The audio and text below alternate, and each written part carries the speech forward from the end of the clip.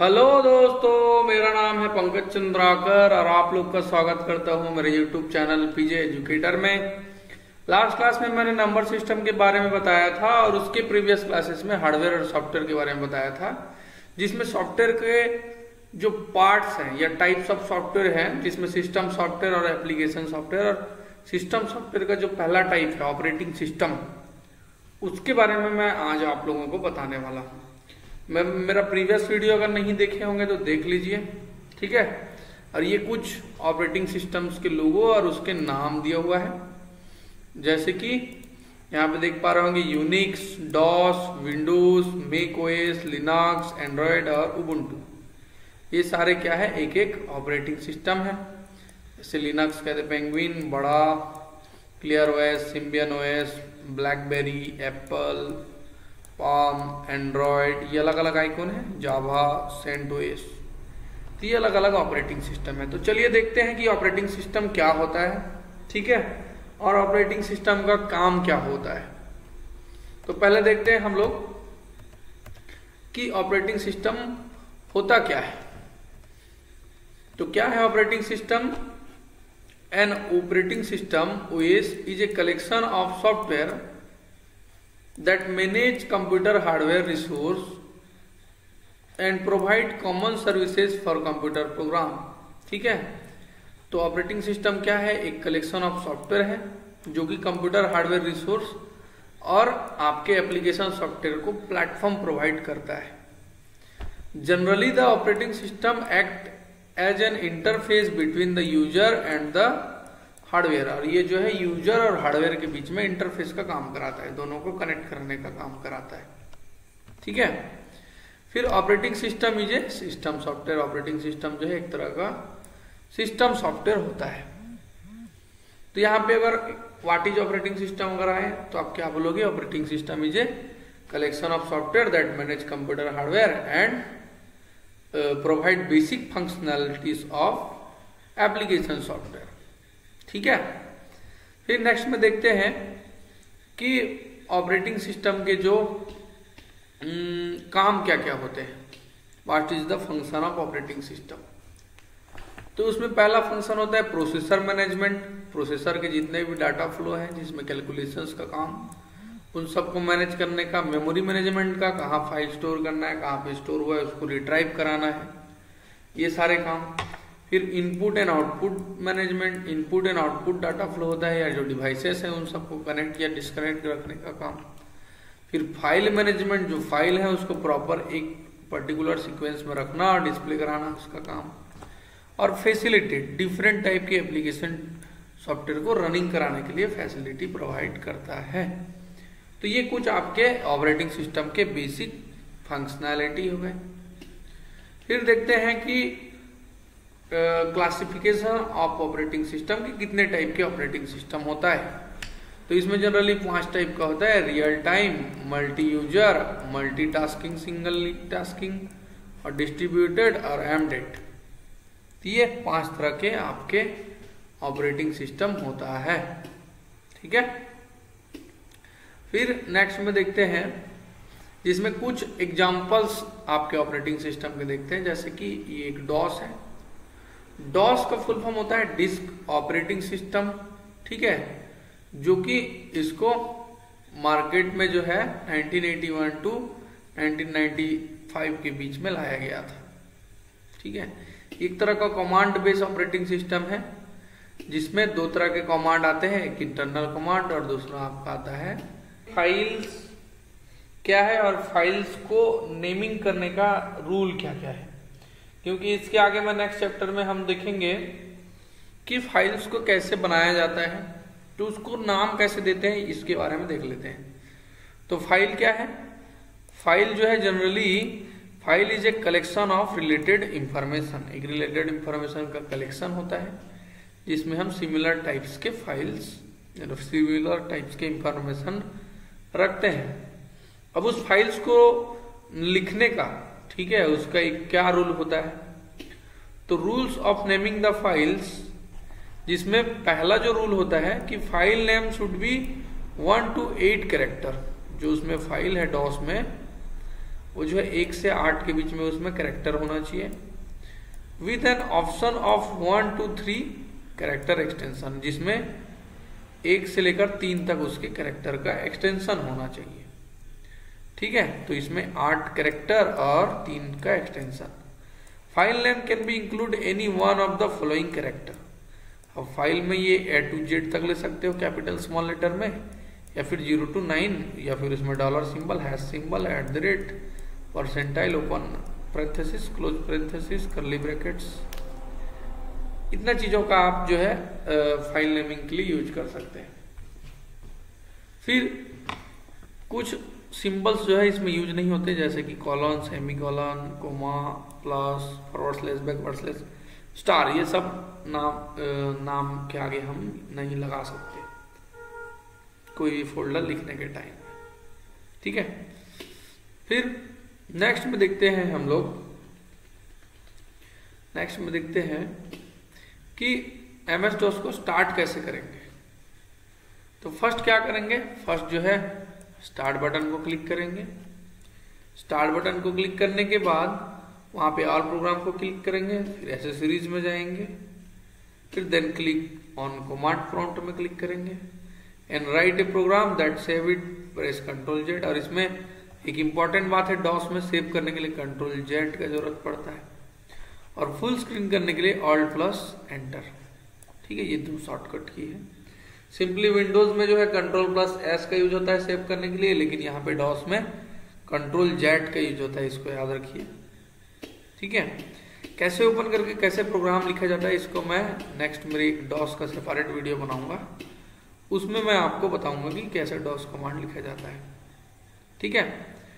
तो ये DOS command जो है पर्टिकुलर प्रोग्राम होता है which help smooth operation of computer system they are different type of DOS command in DOS each of them performs your desire task ठीक है? फिर open command from type help for information to specify command type help command अच्छा किसी command के बारे में तुमको जानना है तो वहाँ सिंपली हेल्प लिख दो। हेल्प लिख देने से सारा कमांड जो है डिस्प्ले हो जाता है। ठीक है? फिर नेक्स्ट देखते हैं कि कितने टाइप का डॉस कमांड होता है। तो जनरली जो है दो तरह का डॉस कमांड होता है। एक होता है इंटरनल डॉस कमांड और दूसरा होता है external dot com DOS command, ठीक है? इंटरनल डॉस कमांड जो है, ये डायरेक्टली जो है सीपीयू से कनेक्टेड होकर चलता है। They do not need any external file support इसको कोई एक्सटर्नल फ़ाइल सपोर्ट का ज़रूरत नहीं पड़ता। जैसे B E R date time C L S D I R M D C D R D ये कुछ इसमें कमांड है, इसकी स्पेसिफिक काम होता है। फिर एक्सटर्नल कमांड को क्या होता है? इसको एक्सटर्नल सपोर्ट्स का ज़रूरत होता है। ठीक है? जैसे कि C H K D S K X copy disk copy mem tree तो ये कुछ इंटरनल एक्सटर्नल कमांड है। फिर देखते हैं कि डॉस कमांड को ओपन कैसे करते हैं। ठीक है? तो ये मेरा स्टार्टिंग स्क्रीन है। यहाँ पे क्या करिए, ये जो सर्च बटन है, इस पर क्लिक करिए। ठीक है? और यहाँ पे लिख दीजिए कमांड प्रॉम्प्ट ठीक है? सिंपली सी लिख देने से भी आ जाएगा दे कमांड प्रॉम्प्ट तो ये स्टार्टिंग का जो स्क्रीन निकला हुआ है, ये जनरली डॉस कमांड है फुल स्क्रीन करने के लिए ऑल्ट एंटर तो ये जनरली मेरा फिर नेक्स्ट में देखते हैं कि एम एस विंडोज़ क्या है। इसके स्टार्टिंग में देखिए एम एस डॉस ठीक है?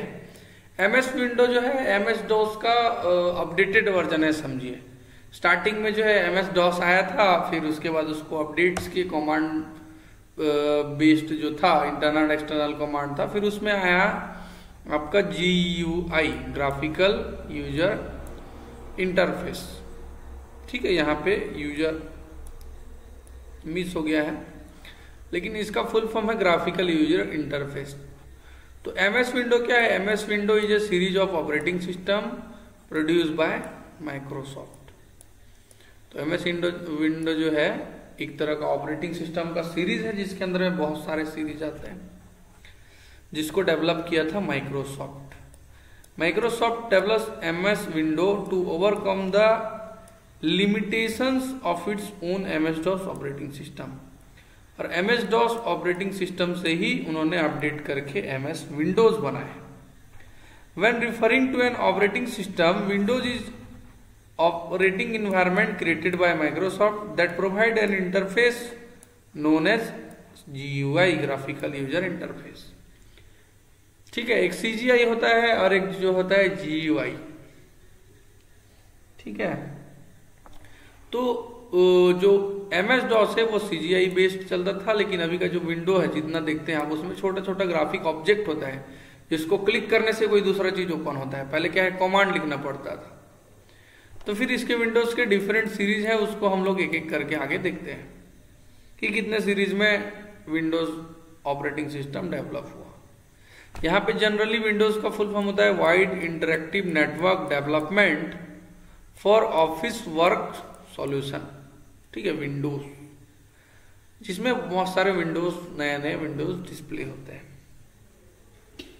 फिर इसमें देखते हैं कि ये जो विंडोज़ हैं, इसके कितने सीरीज़ हैं। ठीक है?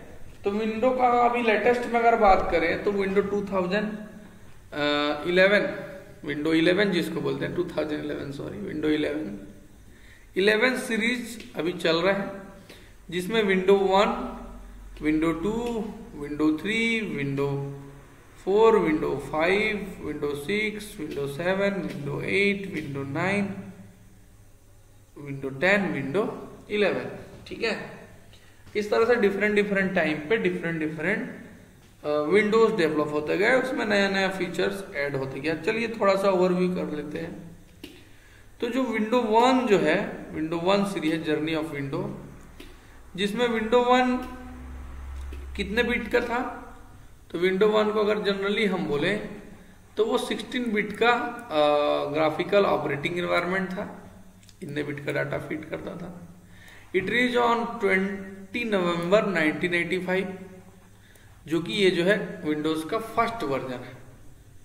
तो कितना 16 बिट का ग्राफिकल ऑपरेटिंग एनवायरनमेंट था, जो कि 20 नवंबर 1985 को डेवलप हुआ था। ठीक है? जो कि आपके विंडोज़ के फ़र्स्ट वर्जन है। इसका विंडो कुछ इस तरह से था, जिसमें इस तरह से क्लॉक थे, कुछ इस तरह से बेसिक फंक्शनैलिटी के लिए, कुछ ऑप्शंस ऐसे थे, जिसमें उतना ग्राफिकली वो डेवलप नहीं हुआ था। ठीक है? फिर नेक्स्ट पे देखते हैं विंडो टू ठीक है? तो विंडो टू भी same to same generally sixteen bit का ऑपरेटिंग सिस्टम है, जो कि G Y based graphical user interface based था। और ये जो है दिसंबर 9 1987 में आया था, जो कि ये 1.0 के बाद से आया था। फिर इसमें एक और सीरीज़ आया था विंडो 2.1 एक्स 1988 में। दो अपडेट्स इसके आए थे। और इसका स्क्रीन कुछ जो है, इस तरह से आया। फिर इसमें देखिए, ये अलग से विंडो पहले जो देखिए, उसमें विंडो फैसिलिटी नहीं था। और यहाँ पे मिनिमाइज मैक्सिमाइज बटन्स वगैरह डेवलप नहीं हुआ था। ये स्टार्टिंग के सीरीज़ है नोटपेड कुछ इस तरह से आते थे, इसमें दो तीन टैब्स ऐसे डिस्प्ले होता था। ठीक है? फिर नेक्स्ट देखते हैं हम विंडो थ्री तो विंडो थ्री जो है, कब आया था? विंडो थ्री जो है graphical environment third major release of Microsoft window ये आया था? 22 मई 1990 में। ठीक है? और ये जो है, सबसे उस टाइम का first F I R S T first widely successful version of Windows and rival to Apple Macintosh and Commodore Amiga on ji Y fraught ठीक है? और इसका जो है डिस्प्ले कुछ इस तरह से था। देखिए फिर इसमें आइकॉन्स डेवलप हो गए। Write paintbrush cardfile calendar character map media player M S DOS editor backup इस तरह से। थोड़ा थोड़ा इसमें नया नया फीचर्स ऐड होते गया। फिर नेक्स्ट पे डेवलप हुआ विंडो फोर ठीक है? जो कि विंडो 95 नाम से आया, क्योंकि ये अगस्त 1995 में डेवलप हुआ। First consumer version with pervasive 32 bit support इसके पहले का जितना 16 बिट था and primitive multitasking multitasking operation यहाँ से स्टार्ट हुआ। इसमें एक और सीरीज़ यूज़ हुआ विंडो एमी मिलीनियम एडिशन जो कि सितंबर 2000 में आया। ठीक है? जो कि विंडो फोर नाम से ले लो। और इसके स्क्रीन जो है जनरली कुछ इस तरह से थे। देखिए, अब यहाँ पे टास्क बार डेवलप हो गया, एक स्टार्ट बटन डेवलप हो गया, इसके अंदर में इस तरह से प्रोग्राम्स आ गए आइकॉन आ गया, आपके बेसिक डेस्कटॉप आ गया, समझिए, ऐसे window minimize maximize close button आ गया। तो ये चीज़ धीरे धीरे धीरे धीरे सीरीज़ पे डेवलप हुआ है, जो आज के कंप्यूटर में हम यूज़ करते हैं।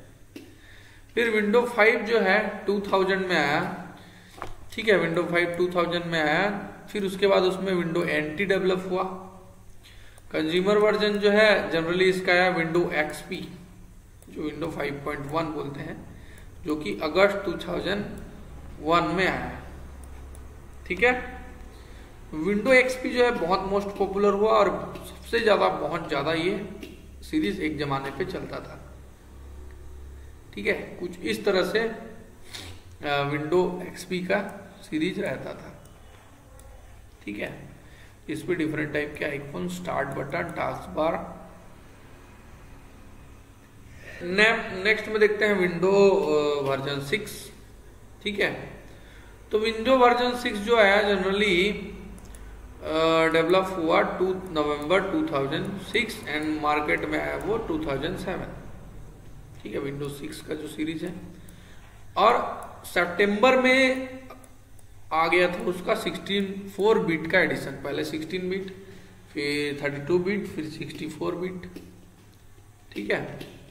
विंडो 6 का जो विंडोज़ है कुछ इस तरह से था लाइक विंडो 7 इसमें ये गैजेट्स वगैरह डेवलप हो गए।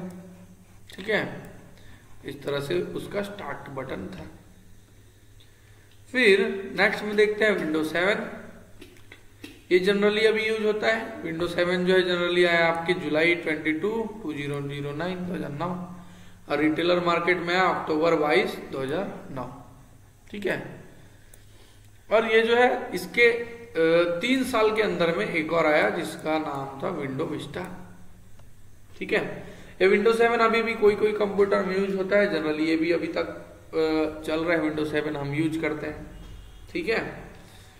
और विंडो 7 का जो डिस्प्ले है, कुछ इस तरह से था, जिसमें अलग अलग वॉलपेपर्स इधर डॉक्यूमेंट इधर फ़ाइल डायरेक्टरी ये बहुत सारे चीज़ें इस पर इंप्रूव हुए, इसका ग्राफिकली बहुत ज़्यादा डेवलप हुआ, ये ट्रांसपेरेंट हुए, ठीक है नोटिफिकेशन एरिया अलग से डेवलप हुआ।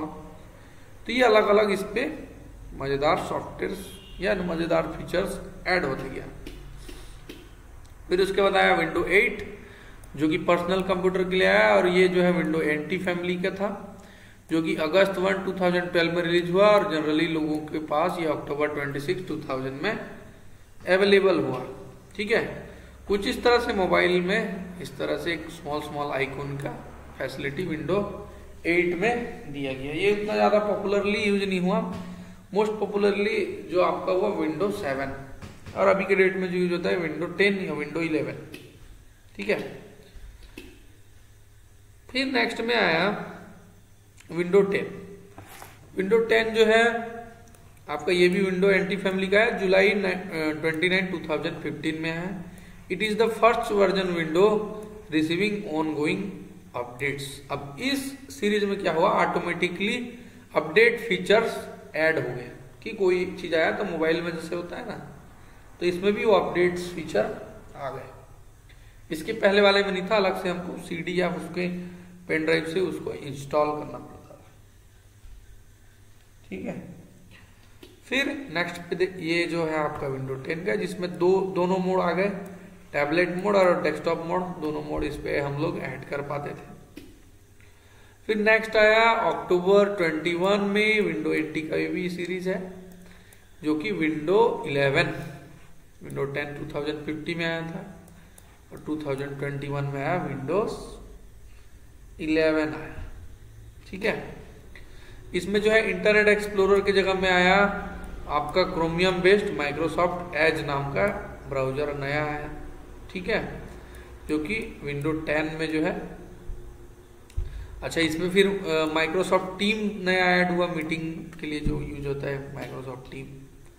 और ये आपका अभी जो यूज़ करते हैं आप विंडो 11 जिसमें ये ये स्टार्ट बटन को मिडिल सेंटर प्लेस पे लाने का भी कुछ फंक्शनैलिटी आया है इसके पहले वाले में, ये ले पार्ट पे रहता था, ठीक है? और ये जो दिख रहा है आइकॉन ये विंडो सॉरी माइक्रोसॉफ्ट एच का लोगो है और ये माइक्रोसॉफ्ट टीम का है। इस पे ऑनलाइन मीटिंग वगैरह होता है और इसमें जो है हम इंटरनेट ब्राउज का काम करते हैं। ठीक है? तो आई होप आपको समझ में आया होगा। चलिए थैंक यू मेरे वीडियो देखने के लिए।